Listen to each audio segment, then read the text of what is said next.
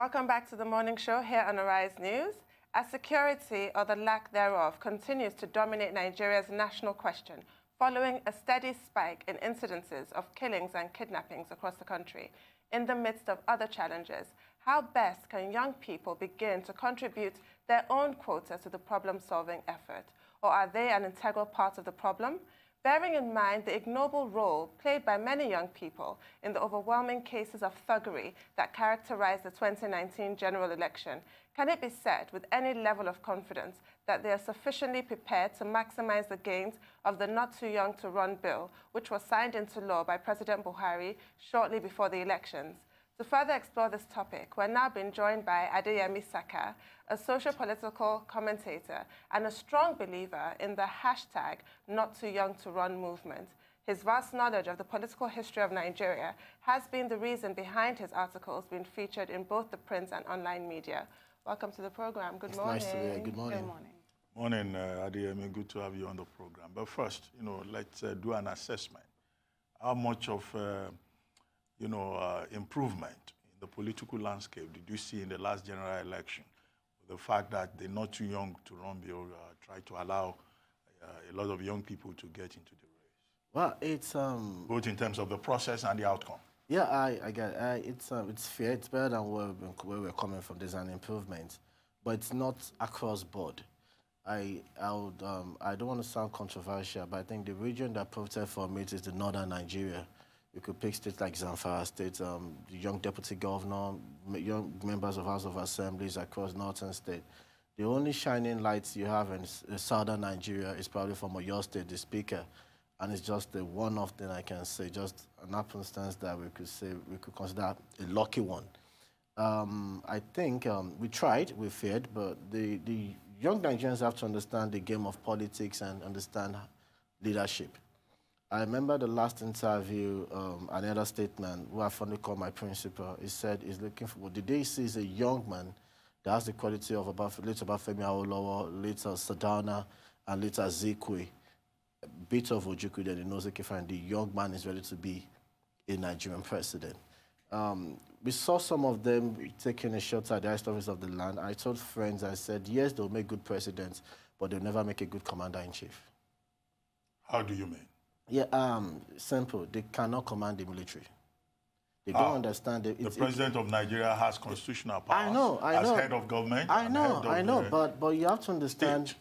You have to understand military politics. You have to understand the workings of the military. You have to understand the psychology of the military without necessarily being a military personnel, and that will make you assert yourself on what the military calls C square, command and control structure of the military. And with that, you have your troops behind you 100, 110 loyalty, and you can command.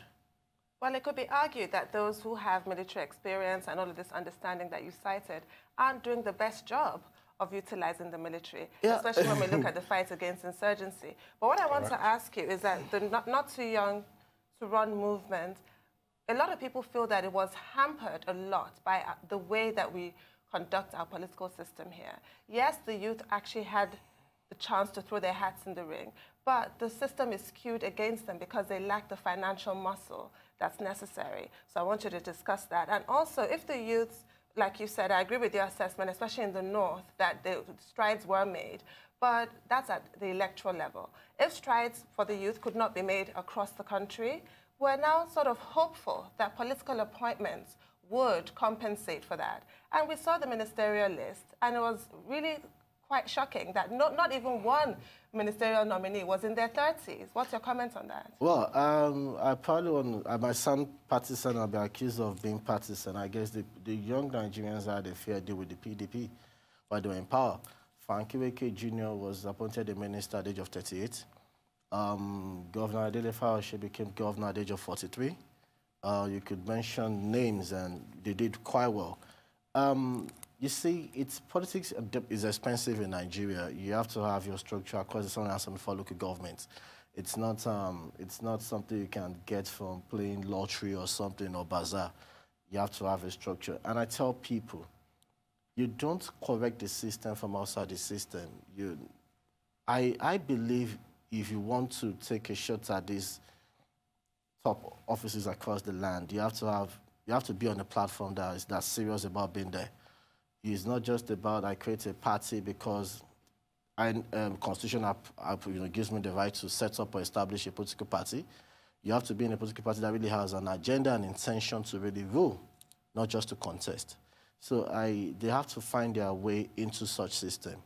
Uh, it's just it's disheartening that the two parties that could give um, Nigerians, um, young Nigerians, such um, opportunities uh, are not really serious about it. I, I might, like I said, I still want to say PDP is fair. Uh, because um, the national youth leader of PDP in 2015 was around 32, 33, who is now the national financial secretary, is, is going to be 37 this year, Abdullah Maibasira. So, and you look at it, but moving forward, I, I think there's a way these, um, the, the coalition of the young aspirants or parties could come together, pull resources together, and have structures across the states. Because if it's not just about paid there in Abuja, you have, a, national secretariat in Abuja. On election day, you have to have somebody that will be at a polling booth in Imewe in, in Ijebu land. You have to have a, an agent that has to be in Niseluku. You have to have you have to have somebody that has to be in Bida, somebody that has to be in Faskari or Funtua. Across the, you know, so that is when you know you are protecting your mandates, you are protecting your interest, and that's how you can be sure of getting there. I'm a bit concerned, though, because aside from the last age that you mentioned of 32 to 33 with the PDP national youth leader, which I don't think there's much to commend there because it's a national youth leader anyway, the other two ages you mentioned was 38 and 43, as to say, hey, the PDP is putting young people in, but that is also still not really young.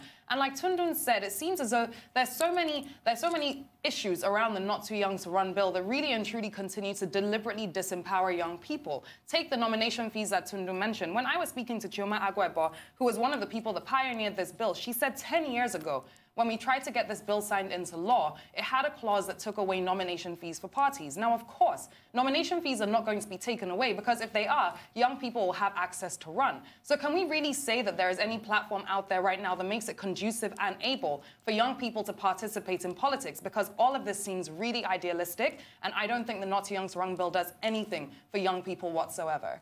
Yeah, I agree with you. And um, I think another thing that would have resolved that is independent candidacy, and I think the Hits Assembly tried something with it. I, if as an independent candidate, I believe I'm popular to become a governor, my ambition is to become a governor of my state, and I can deploy my lean resources to get there, rather than paying 20, 30 million nomination fee, I can deploy that to make um, souvenirs, brand, you know, um, branded materials for my campaign, and do a lot of PR I think it would be better for us. I think that's the way around we can circumvent the whole thing. But that still keeps you out of the policy. That means you're just playing the little games. It doesn't give no, you the big ball. No, the, by, by the time you do that, you now get into the thick of things. Because if, if independent candidacy could have, could have, have avail, 30, 40 Nigerians into the Senate. And then you're lured to one of the two main political no, parties no, no, where you just no, become... No, no, hold on. And like 50, 60 members at the House of Representatives. And you guys tell yourself, okay, fine, we want more of us to come in here you can now tinker the laws to work in their favor. So I think that we could just make use of what we have. If we can just press on and make sure the independent candidacy is real, is solid, and is realistic. I think that's a way for us to get in there. Then when we get in there, we can start changing the system. I cannot be rearrange this place if I'm not in this living area. It's only when I'm in here that I can say, okay, no, this table is not good, let's move it to this side. So let us find ourselves in the system. We can't change it from outside. We have to get in there. Well, I mean, your point about independent candidacy is valid. It's one of the things that people are conversing. And a young man like Bobby Wine in Uganda became a member of parliament. Uh, he ran as an independent candidate against the two major political parties in the country.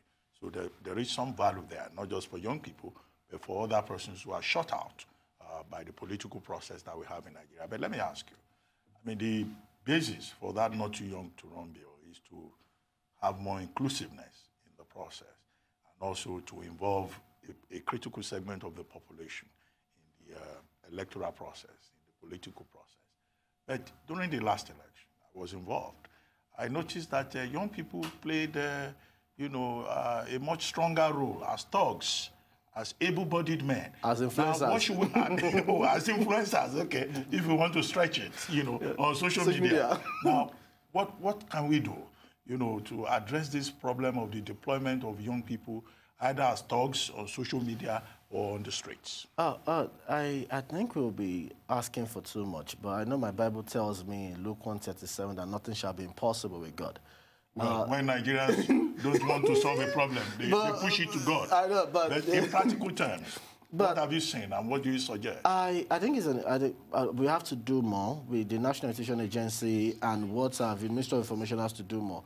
Advocacy has to, to, there has to be more advocacy to tell the youth that they are just better off than influencers, social media influencers or talks. They can even be the political actors. I, I joined, if I can use the word, politics and since, in, since 2003. And I said to myself, I'll never be any tout to anybody. I'll never be any influencer to anybody, and my loyalty can never be bought. I decided what I was pledging my loyalty with, and it's 100%, I have not changed. And I, if every guy out there believe is good enough to be the governor, is good enough to be a senator, is good enough to be anything, I think that's the right step in the right direction. I, National Orientation Agency, as far as I'm concerned, I think after, I'm not trying to give him accolades or praises, but I think after Frank Omeri left, I think the agency has just went um, on break. I hope they resume because there are a lot of things they need to do. And by the time you start telling the young Nigerians that you can do something, we need you to come with your expertise. We need to come with your knowledge. We need to come with your own perception or perspectives, vision, and dreams to push Nigeria forward.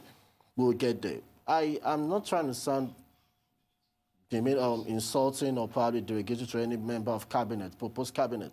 But I want to see, I'm yet to see anybody in that proposed cabinet that has an understanding of artificial intelligence, robotics that probably we need in the 21st century. So we need young people to, we need to tell young people that you people need to come on board, not as influencers, not, to, not saying, not that you believe in one uh, central command that sends you scripted messages and you keep bombarding the social media. You need to be part of this thing. I whip for Nigeria. I cry for Nigeria because if we don't get it right or we don't start getting right with the young population, we are drifting towards precipice and probably just fall over. And if we are not careful, 20, 30 years from now, other countries will just come to Nigeria as um, they want to go to a museum of how people lived in the 60s and 70s because that's what we're going to be about. Well, yeah, I mean, we'll go on a short break and then we'll come back to you and you can continue with these reflections. Stay tuned. Still with us in the studio is Adeyemi Saka, a political affairs uh, analyst. Now, uh, Yemi, before we went on break, you were saying that you weep for Nigeria because it looks like young people have become part of the problem. But is the problem self-inflicted or due to ignorance or these young people that you refer to, are they victims of distortions within the system? I, I think it's a, it's a blend of everything. It's a blend of everything. We cannot, um, I, things have changed. Parenting has changed, um, national values has changed, societal values have changed, and uh, we've lost it. Uh, we, but not too bad. It's not that bad that we cannot retrace our steps and get it back or redeem things. We can, and that's why it starts from the home and the government. I, I, once your parents believes in you, because um, once your parents believes in you, once the government gives you a sense of belonging, that yes, that your nation is worth dying for. It's worth um, serving and you know giving your best. Nigeria will move forward. Then the, the young ones can have hope. Because uh, Nigerians, uh, there was a time I said on my Facebook, I said, Nigeria is a nation good at killing talents. You probably want to do things in Nigeria will not work. The moment you step out of this country, the next time we start seeing your name in Forbes or probably any other international uh, media outlets rating you anyway, what you find difficult to do in Nigeria, you get outside the country, you do it with so much ease. I remember when I got to the university, my first year in the university, I was studying mathematical sciences. I had to, I, have, I had, I registered, is it 28 courses for a, my 100 level mathematical science. I had a lot of agricultural course, agri courses and what have you. And I picked a prospectus of um, University of Bolton University in UK elective, um, fact, his course is going to spend three years in the university against me spending four. Total number of courses with electives in the three-year course and line duration in school like 28 courses. So now the system burdens you with so much irrelevant things that you cannot even function. We need to think, we need to rethink and rejig our system, education system, health system, transportation system, everything. As in Nigeria needs a system overhaul.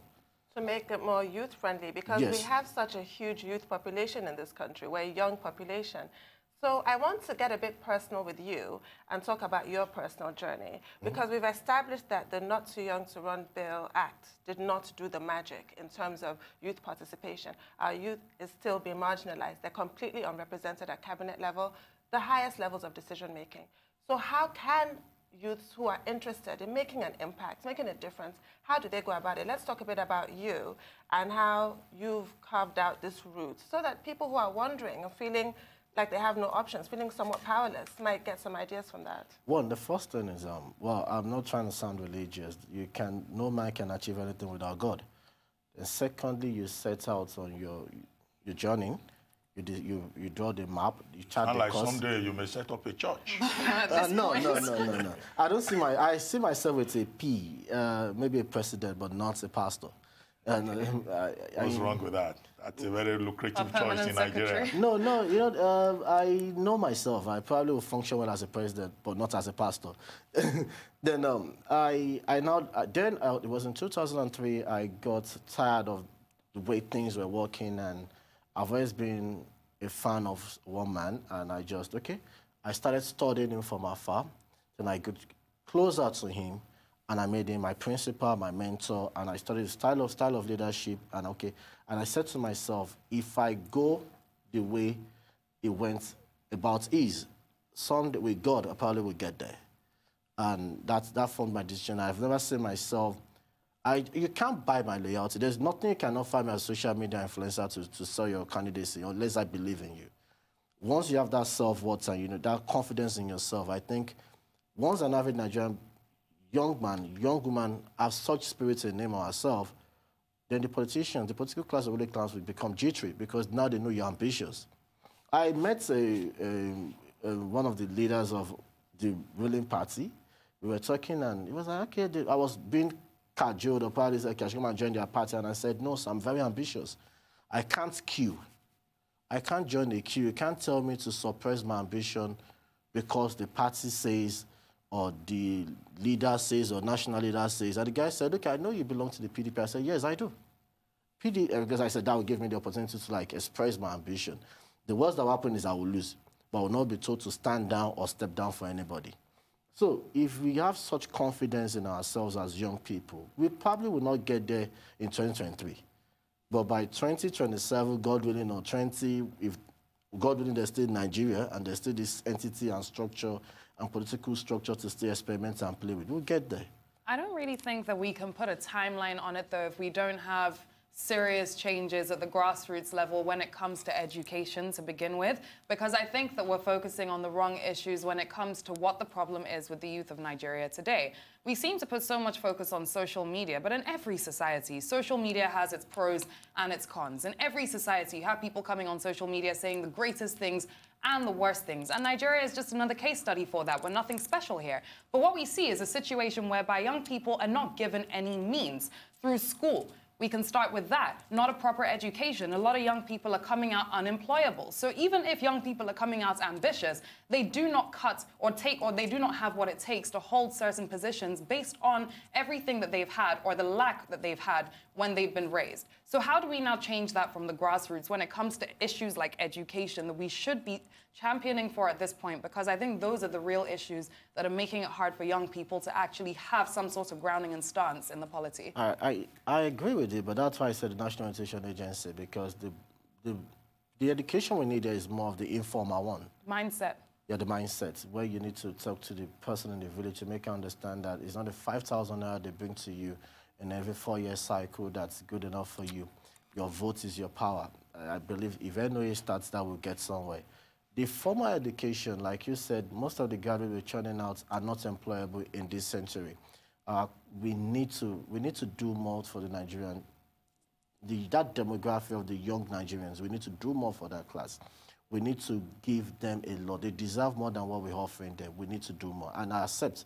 But you see, you cannot, once you're not in the, in the, in the clique or the class of the policymakers or decision makers, you cannot effect that change.